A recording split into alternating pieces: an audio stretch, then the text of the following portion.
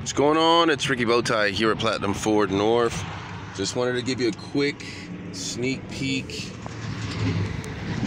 at this 2020 2500 HD you just recently inquired on with us. I just wanted to confirm that it is here and available on our lot.